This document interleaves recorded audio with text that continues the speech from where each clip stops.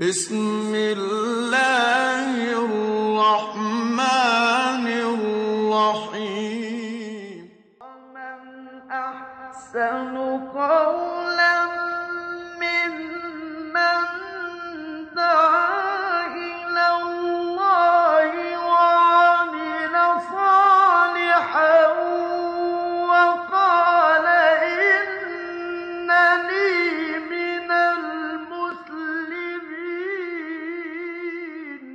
بسم الله والحمد لله والصلاة والسلام على رسول الله. كنت قد زورت في نفسي قصة وأعددتها منذ أيام، لكن قبل قليل وصلتني قصة أخرى شدني إليها حاجة المجتمع. وصلتني عبر حسابي في تويتر قصة لعلي أذكرها وأجدها مناسبة خاصة وأننا بمس الحاجة لمثل هذه المواقف.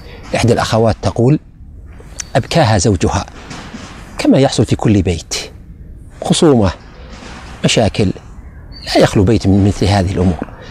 فتقول فرأيته وقد أخذ طفلته, طفلته يحملها ويقبلها ويضمها ويشمها.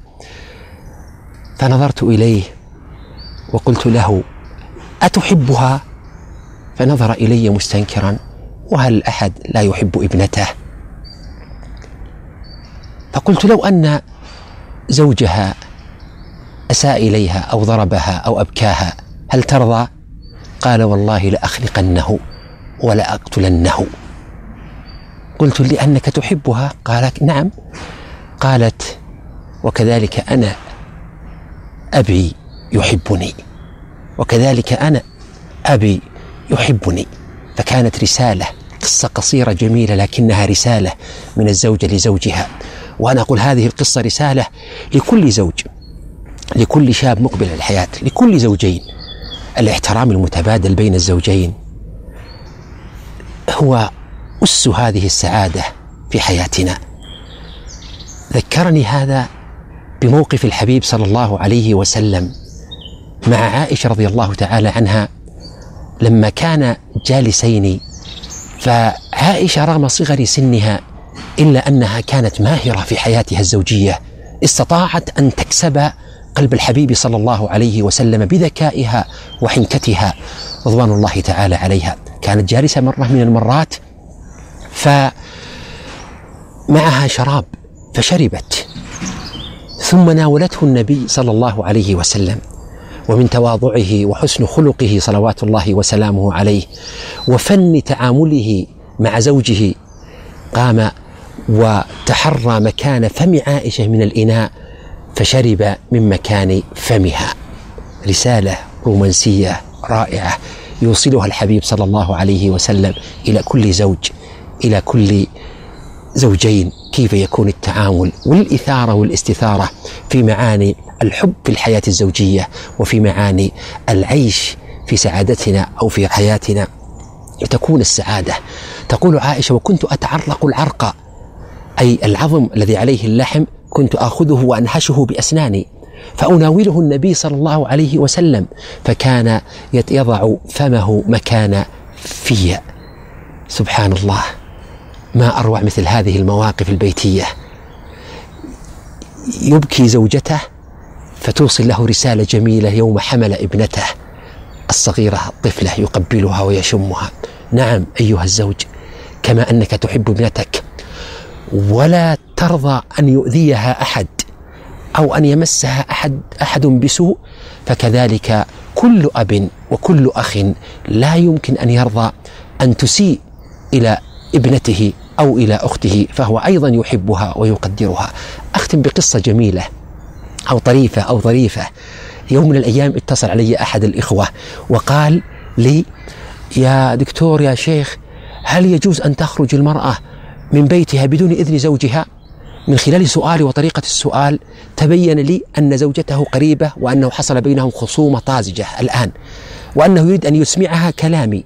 فقلت له بكل هدوء يعني لا لا يجوز لكن على يعني الرجل أن يقدر وهذه ظروف حياتية وأمر بسيط لا يكون العسكري الآمر الناهي وإذا به يقاطعني فجأة ويقول أسمعت يا فلانة؟ تعالي اسمعي تعالي اسمعي اسمعي كلام الشيخ. وإذا بي- أسمع كلام الزوجة من بعيد وهي تقول له شيخ أي شيخ؟ هذا ما هو بشيخ هذا تلب من تلابك عزكم الله وأكرمكم الله. سبحان الله. لعلي أختم ولعل الرسالة وصلت. ألقاكم في حلقة أخرى. السلام عليكم. شوق نفتح كل باب.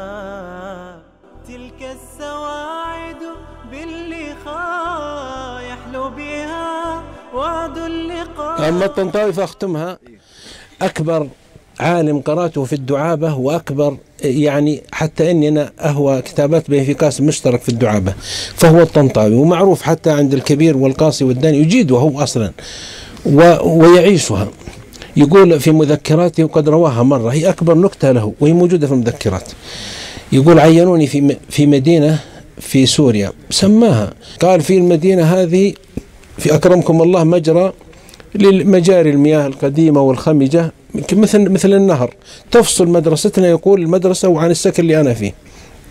قال وفي كوبري وضعه الأتراك خشبة فقط. لا يجي لا يمر بالسيكل إلا الماهر. مرة.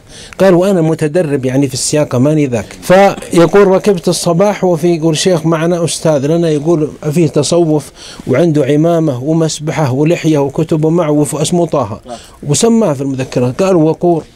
قالوا مريت بقى قالوا عمامته ولا المسبحة وكذا. قلت يا الشيخ طاهر لو سمحت تركب معي. قال الله يرضى عليك. يقول لي خايف مني. وقلت أسألك بالله أنك تركب. قال والله الله يرضى عليك تتركني يا شيخ علي. قلت والله تركب معي. قال فاستحى مني وركب بكتبي وجبته والمسبحة واللحية. قال ومشيت. قال أنا على يوم جئت إلى الخشبة هذه قلت أنا لو مشيت على مهل يمكن إني أرتبك. ما في إلا أسرع شوي. قال فأسرعت. قال وهي أصلا مجرى ماء مياه من الخمجه نسأل الله العافية. أكرمكم الله. قال إيوه. فلما يقول أصبحت وسط قال فناظر تحتي فأرتبك. يقول قالت أرتبكت عيني ويدي. قال فطارت الدراجة مني في الهواء. قال والشيخ طه مسا من بالكتب واللحية والعمامة. من وري قالوا طب في النهر. قال وأنا انفكيت وطبيت على رأسه وأنا ما اجيد السباحة. وعلى عمامته. وارجعي الدراجة وطبي علينا. وكل ما عاد بيخرج طه نزلته وغطسته.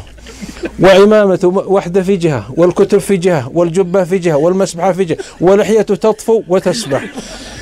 قال وما ترك لعنة في قواعد نابليون ولا عند هتلر ولا في حمورابي اللي أعطاني. قال فزحفت أنا وياه وجاء واحد يسحبنا مدري يقول حصلنا يقول لك الشجرة وشيء لأن قالوا خرجنا في منطر مزري. قال قاطع والله ان يقطعك في الحياة ولا لا تمر بي. حسبي الله عليك ودعا علي سائر اليوم. قال فكنت من كل ما رايته من بعيد أصد ولا أرى. فهذه من لطائف غفر الله لنا وله. ولكم ولجميع المسلمين. أقول ما تسمعون. نفع الله نفعكم بما سمعتم. بالشوق نفتح كل باب.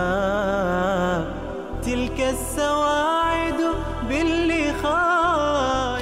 على كل في آه، حي من أحياء دمشق. التراثي اسمه سوق ساروجة. في جامع اسمه جامع الورد. كان يخطب به المفتي العام. كان رجل صالح قديما قصة قديمة جدا. فهذا الخطيب خطيب هذا المسجد رأى رسول الله في المنام. وليس من عادتي أن أروي المنامات إلا لأن هذا المنام متميز. قال له النبي الكريم لخطيب هذا المسجد قل لجارك فلان إنه رفيقي في الجنة. فهذا الخطيب يعني تألم تأثر تأثرا بالغا. هو دراسات وعلم وفهم وتجويد وقرآن وخطابة. هذا جاره بقال.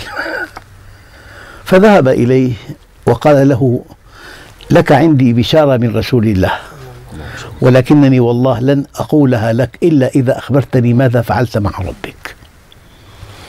رفض أن يقول شيئا. بعد إلحاح منقطع النظير ذكر قال له تزوجت امرأة وفي الشهر الخامس من زواجي كان حملها في الشهر التاسع. إذا هذا الجنين ليس منه. وبإمكاني أن أطلقها وأن أسحقها وأن أفضحها والدولة معي والشريعة معي وأهلها معي ابنتهم زانية. لكن أردت أن أحملها على التوبة. فجاء بولادة في الليل ولدت وحمل المولود تحت عباءته ووقف أمام جامع الورد إلى أن نوى الإمام الصلاة فرض الصلاة. ما في حدا. فدخل إلى المسجد وضع الجني المولود وراء الباب والتحق بالمصلين. فلما انتهت الصلاة بكى هذا المولود. فاستغرب الناس وتحلقوا حوله. هو تأخر حتى تأكد أن معظم المصلين تحلقوا حول هذا المولود. فاقترب منهم. قال خير ما القصة؟ قال تعال انظر لقيت. قال أعطوني إياه أنا أكفله. أخذه أمام الحي بأكمله على أنه لقيط. فأنا علقت على هذه القصة. قول الله عز وجل إن الله يأمر بالعدل والإحسان. فالعدل قسري الإحسان طوعي. بس هذا نقل امرأة من أن تفضح بل قد تقتل لأنها زانية. وجعلها امرأة صالحة بهذه الطريقة. فلذلك أقول دائما في حالات دقيقة جدا الإحسان يفوق العدل. أذكر قصة في موظف عند تاجر. يعني أثناء الحساب الأخير في السنة في تقريبا مبلغ كبير سبعين ألف قبض من الزبائن هذا المبلغ ولم يؤديه لصاحب المحل فانفضح أمره. صاحب المحل هم شريكان. الأول أراد أن يسلمه إلى القضاء. الثاني أراد أن يصلحه. فالثاني دفع المبلغ من جيبه وتولى إصلاحه. هذا الإنسان لما دفع المبلغ عنه رده على سنوات عديدة. وتاب إلى الله وحفظ كتاب الله وصار إمام المسجد. وأنا قبل شهرين أو ثلاثة كنت في أمريكا ووجدته وكان يؤم الناس وله دعوة كبيرة في ميتشيغان قلت سبحان الله الشريك الأول لو سلمه للقضاء انتهى. صحيح. أما الثاني غلب الإحسان على العدل. فلذلك الله عز وجل قال إن الله يأمر بالعدل والإحسان. بسم الله